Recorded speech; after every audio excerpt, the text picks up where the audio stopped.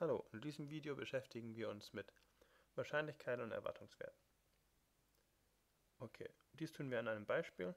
In diesem Beispiel haben wir eine Urne mit sechs roten Kugeln, drei grünen Kugeln und einer weißen Kugel.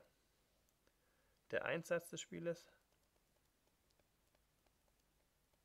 ist 50 Cent und Gewinn ist also man zieht zweimal ohne zurücklehnen.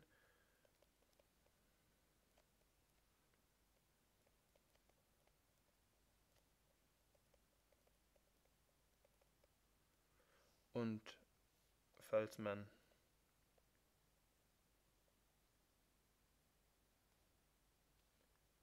eine oder zwei grüne Kugel zieht, bekommt man 60 Cent. Und falls man eine weiße Kugel zieht, bekommt man einen Euro. Hierzu schauen wir uns zuerst die Wahrscheinlichkeiten an, dass wir eine grüne Kugel ziehen. Das machen wir in einem Baumdiagramm. Und hier haben wir grün, kein grün, grün, kein grün, grün, kein Grün. Die Wahrscheinlichkeit beim ersten Zug Grün zu bekommen ist 3 Zehntel, weil wir drei grüne Kugeln haben und 10 insgesamt. Kein Grün ist dementsprechend 7 Zehntel. Dann hier eine grüne Kugel zu ziehen ist, naja, wir haben eine grüne Kugel schon gezogen und haben sie nicht zurückgelegt, also haben wir noch zwei Kugeln, die grün sind, aus neun Kugeln weil wir sie nicht zurückgelegt haben. Und hier haben wir auch nur noch 9 Kugeln, aber noch alle 7 Kugeln, die nicht grün sind. Und hier in diesem Fall haben wir drei Kugeln, die grün sind, da wir hier keine grüne Kugel gezogen haben, aus 9 Kugeln, weil wir nicht zurückgelegt haben. Und in diesem Fall haben wir sechs Kugeln, die nicht grün sind, da wir eine nicht grüne Kugeln rausgezogen haben, aus neun Kugeln. Und die Wahrscheinlichkeit, dass eine oder zwei Kugeln grün sind, ist dieser Zweig, dieser Zweig oder dieser Zweig. Oder wenn wir uns einfacher machen, können wir einfach sagen, wir nehmen 1 minus diesen Zweig, da wir wissen, dass die Summe von den allen 1 ist. Also folgt daraus die Wahrscheinlichkeit, dass wir eine oder zwei grüne Kugeln haben.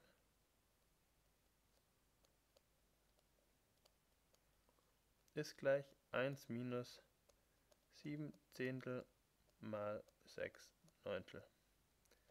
Das können wir kurz ausrechnen. 1 minus 7 durch 10 mal 6 durch 9. Und dann bekommen wir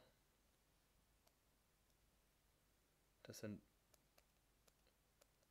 0,5 Periode 3. Ja. Jetzt machen wir das noch mit der weißen Kugel. Da haben wir auch die Wahrscheinlichkeit, dass wir weiß und nicht weiß ziehen. Also wir haben weiß, kein weiß, weiß, kein weiß, weiß, kein Weiß. Hier ist die Wahrscheinlichkeit. Ein Zehntel. Und hier ist die Wahrscheinlichkeit,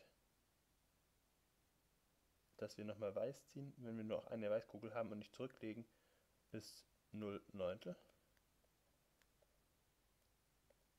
Und hier, dass wir keine weiße Kugel ziehen, ist die Wahrscheinlichkeit, ja, alle Kugeln außer eine sind nicht weiß, und wir haben noch 9 Kugeln, also 9 Neuntel. Dann haben wir hier die Wahrscheinlichkeit, dass wir kein Weiß ziehen. Das sind auch 9 aus 10. Und hier die Wahrscheinlichkeit, dass wir kein Weiß ziehen, ist jetzt 9 aus 9 aus 9. Ach, stimmt gar nicht. 8 aus 9.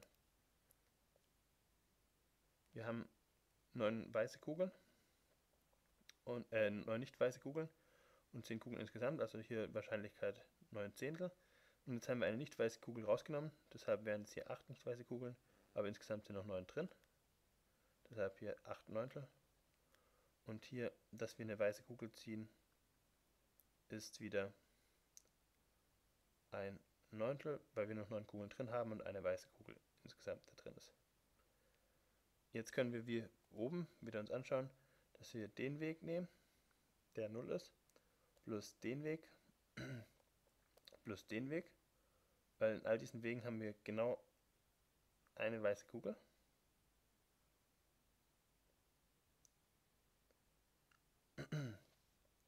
Oder wir schauen uns wieder die Alternative an und gucken uns diesen Weg an und ziehen ihn wieder ab. Also hier haben wir eine weiße Kugel, hier sind überall keine weiße Kugeln und hier auf dem Weg haben wir auch eine weiße Kugel, deshalb können wir diesen Weg nehmen. Mit demselben Argument, dass die Summe davon hier unten gleich 1 sein muss. Okay, die Wahrscheinlichkeit von einer weißen Kugel.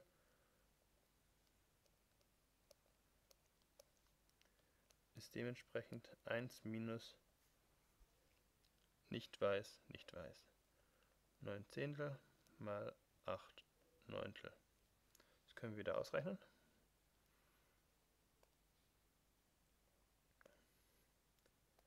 Eins minus neun Zehntel mal acht Neuntel. kriegen wir es wieder weg.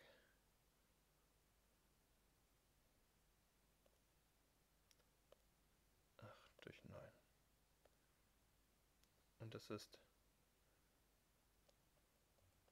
0,2. Wir haben 0,2 Prozent, also 20 Prozent Chance, dass wir die weiße Kugel bekommen.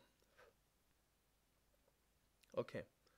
Und jetzt können wir äh, uns noch anschauen, was die Wahrscheinlichkeit ist, dass wir weder diese grüne Kugeln bekommen, noch die weiße Kugel. Also die Wahrscheinlichkeit die Restwahrscheinlichkeit.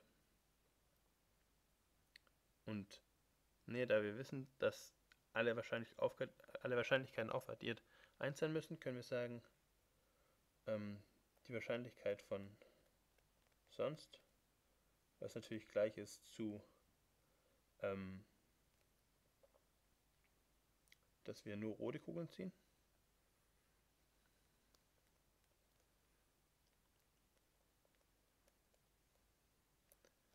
ist gleich 1 minus der Wahrscheinlichkeit, dass wir ein oder zwei grüne ziehen.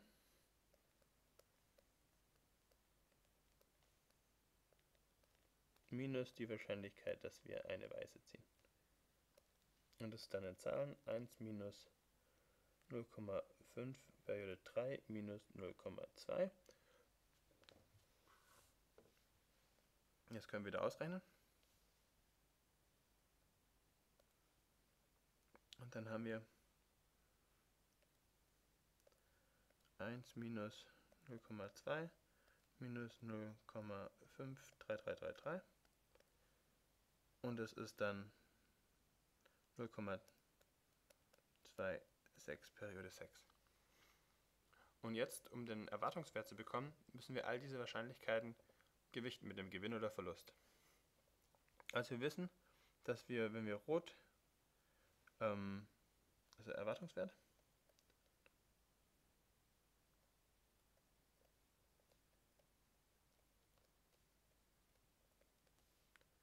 Erwartungswert, nennen wir mal E, ist jede Wahrscheinlichkeit gewichtet mit dem Gewinn oder Verlust.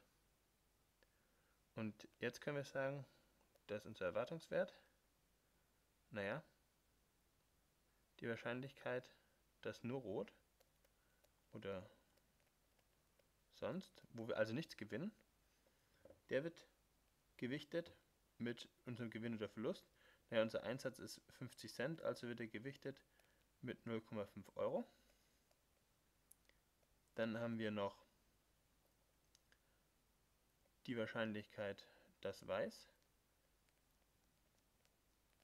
der wird gewichtet mit einem Euro, weil wir da 1 Euro gewinnen. Beziehungsweise wir gewinnen nicht mal 1 Euro, wir haben noch einen 50 Cent Einsatz, deshalb müssen wir da 50 Cent von abziehen. Und dann haben wir noch die Wahrscheinlichkeit von 1 oder 2 grün. Und da kriegen wir 60 Cent.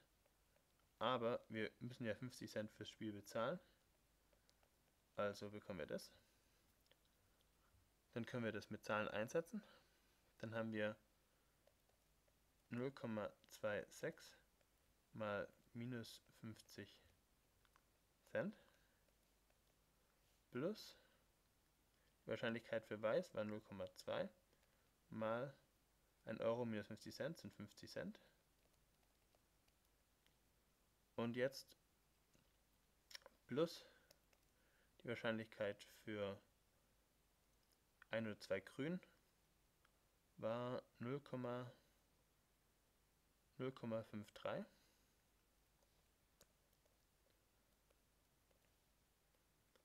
Und das 50 Cent minus 60 Cent minus 50 Cent ist 10 Cent. Und jetzt können wir das wieder ausrechnen. Also nehmen wir uns einen Rechner. Dann haben wir 0,26 mal minus 0,5 Cent. Ich hoffe mal, das schluckt er. Plus 0,2 mal 0,5 Euro plus 0,53 mal 0,1 Euro. Und dann bekommen wir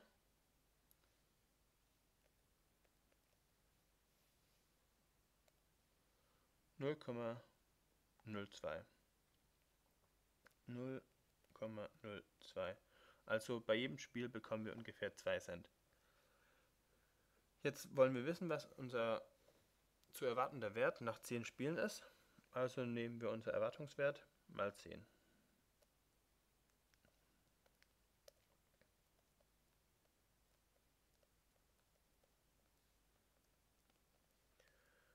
10. Spielen. Und dann können wir einfach sagen, 10 mal e ist gleich 10 mal 0,02 und das ist, können die 0 mit dem machen, dann haben wir insgesamt